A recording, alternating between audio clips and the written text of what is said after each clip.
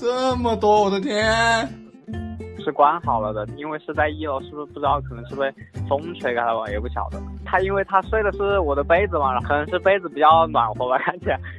我把我的被子给他了，我们拿了个纸箱子，然后把就是他还是在被子上，然后把被子放到那个箱子里面，放在那个阳台上面。因为他生下来好像应该没多少天，就是不知道晚上的时候他那个妈妈会不会会不会来，跟学校说了，然后但是因为太小了，然后室友他们去买那个羊奶去了，就是喂一下他。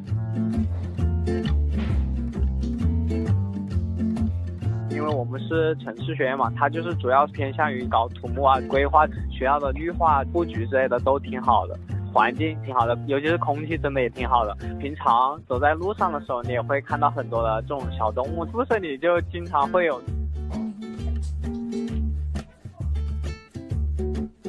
全部都是密密麻麻的。